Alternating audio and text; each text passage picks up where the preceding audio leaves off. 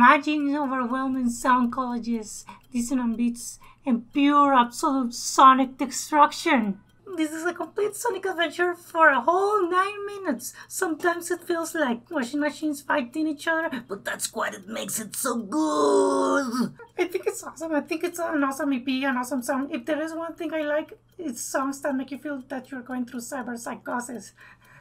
All, all the brain scratching frequencies, like you have a part in your body that itches so much and you scratch and scratch and scratch until there is blood, but it feels so good. That's how EP feels like. 7 out of 10. It could have been longer. It could have been more textures and more, more, more, more of everything. But it was great. Goodbye.